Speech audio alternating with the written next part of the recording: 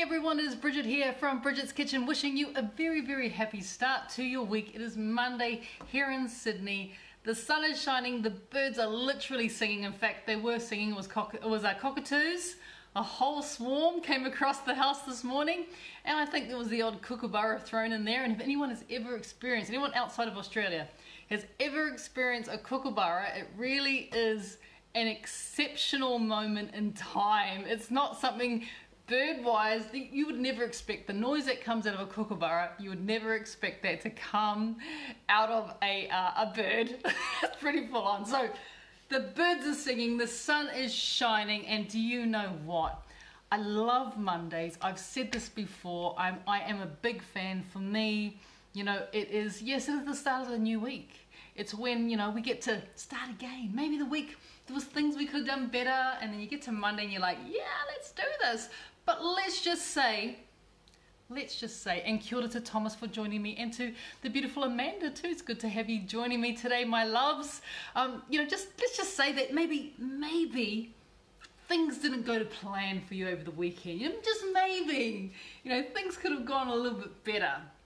And I know I normally start a Monday off with, um, you know, with a really good, healthy, savory dish. I thought I would start today off with a little treat. I would start the week off with a treat for us, for you as well, for all of us. And this treat is my, I call it my, well actually I didn't name this. One of my lovely, lovely, gorgeous friends, Tracy, named it Personal Brownie. and she's like, oh, I think I need my own personal brownie. And I'm like, you know what? We all need our own personal brownie. So this is in honor of Tracy. This is her personal brownie that she named. I personally named it my gooey chocolate brownie and Tracy renamed it personal brownie. And the reason it's a personal brownie, because the ingredients that I'm giving you guys for this recipe, you can make into individual brownies. So you don't have to share it with anyone if you don't want to. But in saying that, this recipe actually makes two individual brownies. So you could share it if you want. Or you could wrap your brownie up, put it in the fridge and don't tell anyone and that's your personal brownie for later on in the week. So it's up to you. But it's one of these recipes of course you guys know me. It is gluten free it is sugar free and it is dairy free as well. So it's got all those wonderful things in there. You do not have to worry. If you are um, currently on a gut health program this is maybe one you want to just hold off hold off till you're at the end of your month or whatever it is you're doing through because it is a healthy treat. And yes, it is available in my Healthy Treats ebook.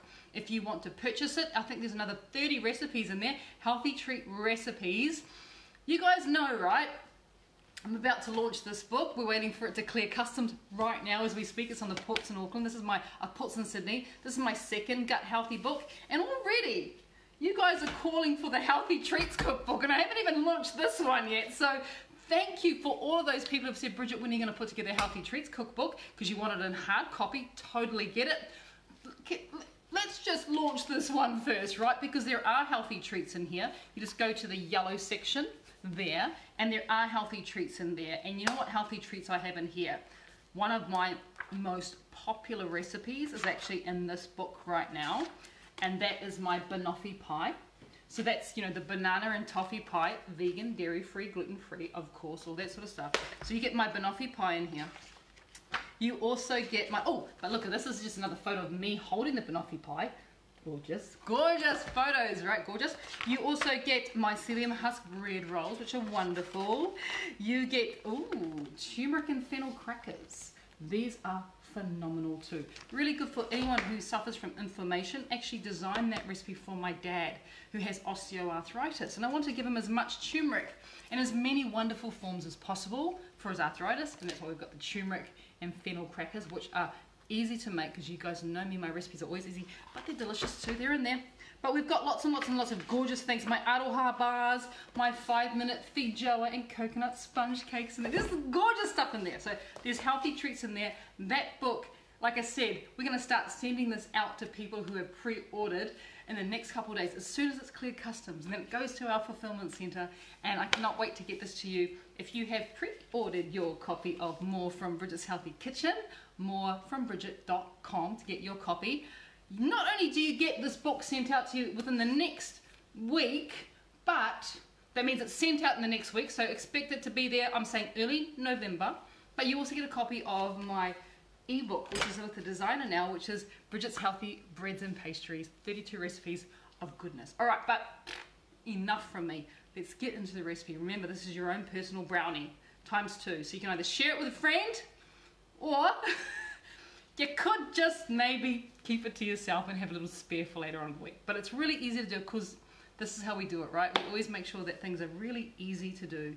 Things are um, great for our gut health. Things are, you know, gluten-free, sugar-free. This is how we do it, right? This is how we do it. And please share this because the more people that you share this video with, the more people that can also enjoy and what we are enjoying, which is a healthy life and a healthy lifestyle and energy and all that fabulous stuff. So let's get into the recipe. As I was saying, it's really easy. It's not a, this is not a hard one. Come down to my bench. Come down to my bench. Look, I don't even have a chopping board today. That's how easy this recipe is. So I am going to start with mixing together the dry ingredients. So I like to do that. I keep the dry in one place and then I keep the liquid ingredients in another place. So I usually have like a jug or something like that sitting off to the side. So we're going to start with the dry ingredients, taking up our, our little um, scales, put the bowl onto the scales and then zero it that's what you want to do. You want to zero it, so it's now at zero. So anything I add into it now will just be measuring from, from scratch. It just saves so much time in putting things into little bowls. We're going to start with almond flour. This is my huge big container of almond flour. I was at Costco yesterday. I managed to find a couple of hours and make my way to Costco, so I, I, um, I stocked up on almond flour. It's pretty cheap there. So we're going to add into our bowl here. Remember, this is for two people. We're going to be adding 45 grams, which is around about 1.5 ounces of almond flour, so not that much. So that's our base. We're also going to add, and this is what gives us the chocolatey, gooey, chewy chocolate. I have, I know it's backwards, guys, but that is just raw cacao powder. So cacao is basically the chocolate before it's even processed. There's nothing had done to it, but it's been turned into a powder. It is unsweetened. There's nothing else in here but basically the start of chocolate. So this is really good for us. You can find that in the health food aisle of most good supermarkets or definitely you'll find it in a, in a health food store as well. So we're adding raw cacao and we're going to be adding 20 grams of raw cacao into the bowl. 20 grams, Bridge. Don't go overboard. 20 grams, because it's quite bitter. You know, this is a bitter dark chocolate, so you know, I am being quite careful with my measurements because I don't want to blow people's heads off with it being too bitter. And as much as I like bittersweet chocolate, this is definitely, you couldn't make, put it this way, you couldn't just make uh, a, a chocolate drink from this because it would be quite bitter. You would have to add things. And in fact, I did a hot chocolate recipe a couple of days ago on Bridget's Kitchen. you can go back and scroll through the, uh, the post on Bridget's Kitchen. You'll find my hot chocolate recipe, which is obviously really good for us. So raw cacao, almond, raw cacao powder, almond flours in there. The next thing we want to add is our inulin. Remember, we're adding it. We're making it a prebiotic. We're adding dietary fiber. And we're also adding that little bit of sweetness. And I'm going to be adding 25 grams of inulin powder into that as well, which works out to about two and a bit tablespoons. About that much. Yep, goes in there. We need to give it a little bit, we need to give it a little bit of a raising agent. I'm going to be raising it with baking powder today. You can get, um, you can get, obviously, I don't have to tell you we can get baking powder, you all know. You all know baking powder. I happen to have a Edmonds, which is a New Zealand baking powder. It's actually not, it's just the tin. Had a tin for years. It's got Aussie baking powder in there, just saying. You know, just got the tin, got the tin. All right, a teaspoon of baking powder goes in.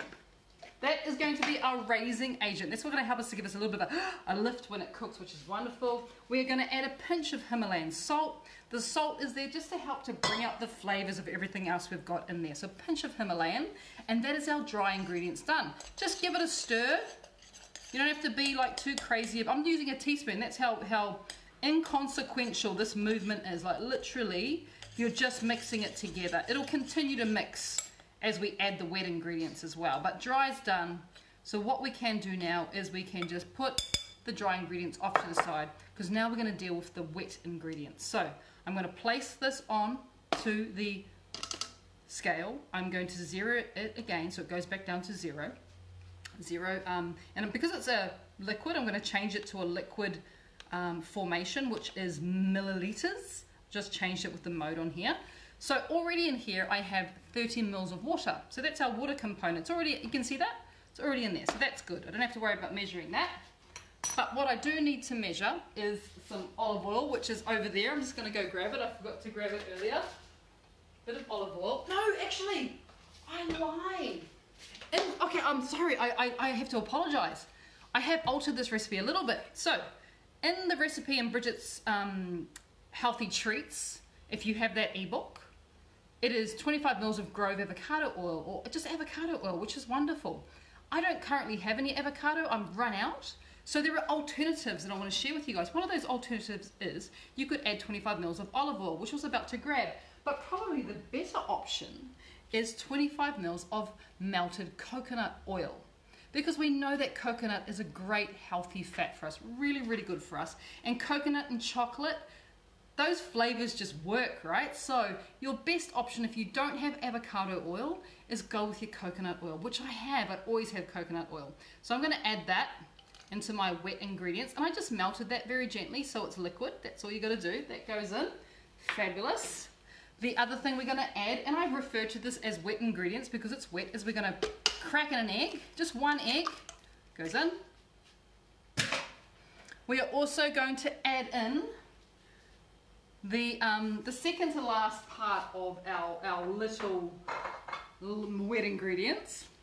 I know it's going to look really nasty. You're going to say, why would you do that, Bridget? Why, why would you do that? I'm, it's just a banana. But, but it's a ripe banana. And the reason why it looks like this is because I had it in the freezer. So I freeze all my bananas because the sweetness that you get from this and always having bananas in the freezer means you can add, you can make your own personal brownie whenever you need because you're never short of a banana. So that's a great way. If you find bananas cheap, throw them in the freezer, literally, and then just bring them out, either defrost them overnight or just microwave them for a minute and they will defrost. And what you will get, please don't gross out. I know it's, for some you may want to avert your eyes, but look, it is oh, it is perfect. perfect. The riper the banana, the sweeter the outcome. So yes, I do have, and I went out and bought these today, this morning. Went to my favourite veggie shop in um, Sutherland Shire here in Sydney. Went to my favourite veggie shop, Whole Fruit Market, and I bought some bananas because they were actually quite cheap. But this is nowhere near as sweet as that one there. That was a ripe banana so ripe that the only thing I could do with it was freeze it. No one would ever eat it. So keep these for eating if you want, if you like bananas. You know, it's a good texture. Once they get past their use by date, just freeze them. Pop them into a, into a plastic bag and freeze them because then you've got this sort of ability. So you want to add one large ripe banana to the mix. One large ripe banana. The only last thing that we're going to add in liquid wise is I've just got a little bit of um, a bit of vanilla, pure vanilla extract that's going to go in there. There's half a teaspoon. It's going to go in there as well. Whoops. I'm going to take up my little blender. This is this is the one from Aldi. Love, love it. It's come a bit higher so you guys can see what's happening. Absolutely love it. That's going to go in. That's why I use a jug, right? Done. Easy. couldn't be easier. I mean, seriously, couldn't be easier. Give it a bit of a blend. You don't have, if you don't have one of these little machines, you can totally do that by hand with a whisk or mash the banana before it goes in. But we have, what we've essentially done is we have kept the dry ingredients in one bowl. We have kept the liquid ingredients in another bowl. All we need to do now, because that's pretty much all the ingredients we're going to be adding throughout this entire little cooking class, is we need to mix them all together. So let's do that. Liquid goes in, make sure you get it all out. You don't want to miss anything, right? This is the important part. Put your liquid in there. Then you don't even have to be too concerned. It comes together. I'm going to use a tablespoon just to stir it together. Look, this is what I mean. This is easy stuff. So, so, so, so, so, so easy. And you're just blending it. Yes, I know it looks quite, it looks quite wet. It's quite a wet mixture, but that is exactly what it's supposed to look like. See that? That is what, I know it looks like, like brown We won't go there, gosh. We won't go. It looks like a brown glob, I was thinking. Like a big brown. Why are you laughing? I have audience. She's laughing. She's giggling. She's giggling. My audience is giggling. It looks like a big brown blob. And that's exactly the look you're going for. That's perfect. Don't let anyone tell you otherwise. Let's think about what we're going to cook it in. Remember, it's an individual brownie. Look what I've got. Oh my God. Aren't these the most gorgeous things you've ever seen in your life? They're a little individual, I don't even know, egg pans. And you know, chefs have crazy stuff in their lives and these are one of them. I don't use them to cook eggs in individually. I actually use them to make brownies because they're just the perfect size as far as I can see and they're non-stick.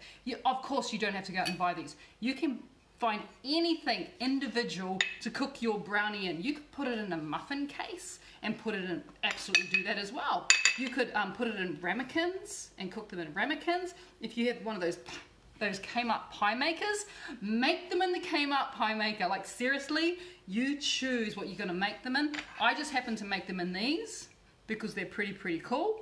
But if you double or triple this recipe, the same recipe, you could also consider making it in something like this. This is actually a wooden crate. Would you believe it is a baking crate, timber crate from these guys, the Timber Cake Box Company. This is the most amazing thing to cook your brownie in. Like literally I put baking paper down and then I cook a larger brownie in here. Using exactly the same ingredients, I just multiply it by two or by three. Uh, two goes really well in here. Two times the recipe I've just given you. And here, fabulous. But then you've got to share it. That's the only problem. You don't actually do personal brownies. So you can totally do it in here, this wooden crate, or in a loaf tin. You guys decide. The options are there 100%. As I was saying, I'm going to be putting it in these little cool little non-stick individual egg pan thingies, but the reason I'm using them is because you can notice the metal handle. I can actually pop them into the oven, which is really, really cool. So I don't have to grease anything because it's non-stick. Fantastic, right? No greasing required. The only last thing I'm going to add into my mix here is I have some organic cacao nibs. So you remember how we talked about this basically being pure cacao and all they've done is powder it down? So it still retains all its nutrients and vitamins there's no additives there's no sugar there's no nothing. These are the the version of cacao before they're ground to a powder. They're called cacao nibs.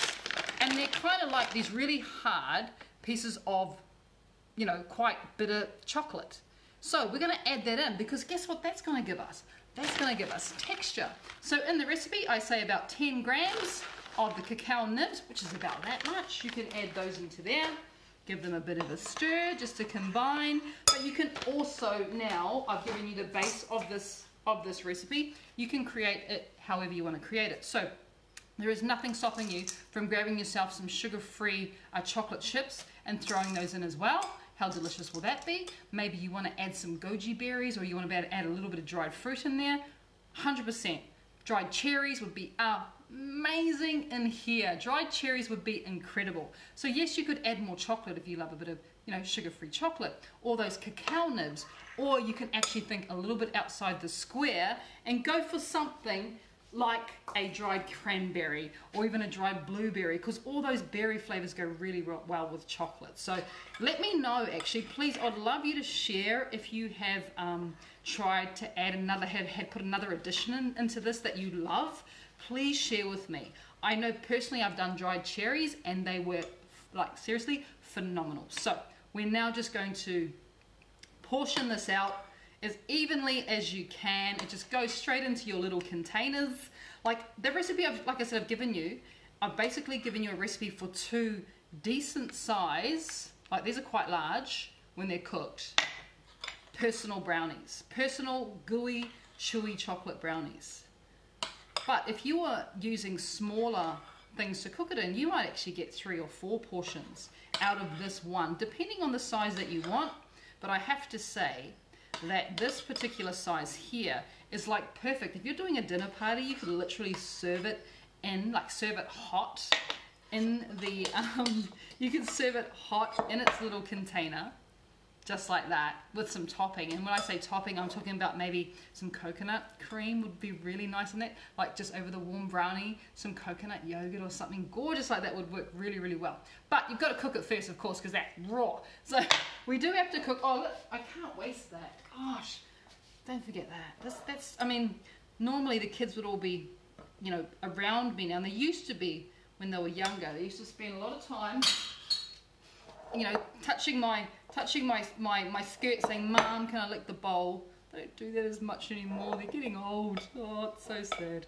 But there you go. So we are just going to put that in there because we don't want to waste any of that goodness because that's where the goodness is. And if you've got a few leftover chocolate, you know, sugar-free chocolate chips, let's also add those just to the top. And all you need to do now is bake it. And there's a couple of ways that you can bake it. You can pop these into your oven set at 160 degrees. So it actually doesn't need a lot of heat. 160 is around about 320 Fahrenheit. So it's sort of, it's not quite medium hot, it's just below medium because you want to cook it gently. You don't want to overcook it. You don't want to, you don't want to ruin it by creating too much heat. And these are going to go in the oven for only about 10 to 15 minutes and these will be cooked. But you could also cook these in your air fryer. Set it once again at 160 degrees. They will take about 8 to 10 minutes to cook in your air fryer. Just make sure whatever you decide to cook your brownies in, they are oven proof. So make sure there's no plastic handles or, or anything like that. Just make sure they're oven proof. And then, you know, in 10 to 15 minutes after you have done this, you then have chocolate brownie. I don't expect you to wait for that. I'm going to show you, here's one I did earlier. And I actually did this one I'm going to show you in this wooden crate. Once again, 160 degrees, it went into the oven and it was in the oven because it's quite a large piece. I had it in there for about 30 minutes. And what I, the result that I was left with, please check this out. Dun, dun, dun, dun, dun. Here's some I've produced earlier. I want to show you guys just how tender and soft that is. Check that out. Isn't is that in focus?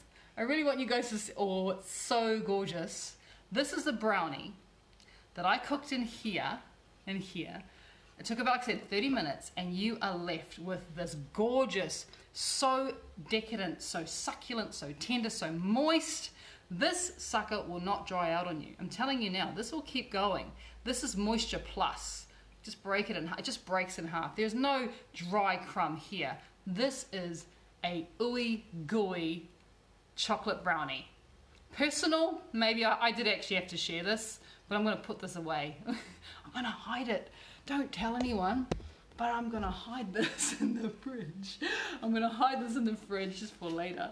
Um, yeah, just for later on in the day when you need, like I said, when you need a bit of a treat. But I've also got, obviously, those, those round ones going into the oven now to cook. And like I said, they won't be in there for long. 10, 15 minutes in the air fryer about 15 minutes in the oven, set at 160. The best way to tell if they're ready is just very gently touch the top of it with your finger. It should just spring back at you. So it should be spongy, but when you depress it slightly, it should come back up. The other way to tell whether it's cooked is take a little skewer and insert it right into the middle. Remove the skewer. And what you should get on the end of your skewer is not like raw dough, but more like little slight crumbs that are sticking to it. That's another indication that your brownie is cooked. And yes, the best way to eat your brownie is hot.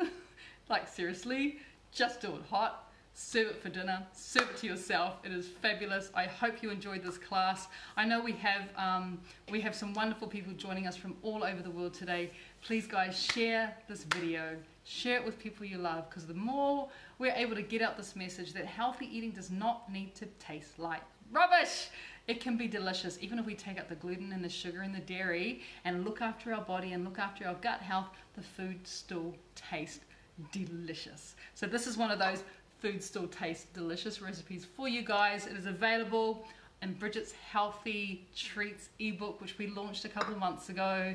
And of course, this is about to be sent out to everyone who's pre-ordered. You can still pre-order and get a copy of my Healthy Breads and Pastries ebook that will be given to you as a thank you for supporting us. All right, guys, enjoy this Monday. Let me know. I'd love to see some photos if you've made this recipe soon. I'd love to see what you've done. All right, guys, take care, and we'll talk to you really soon. Okay, bye.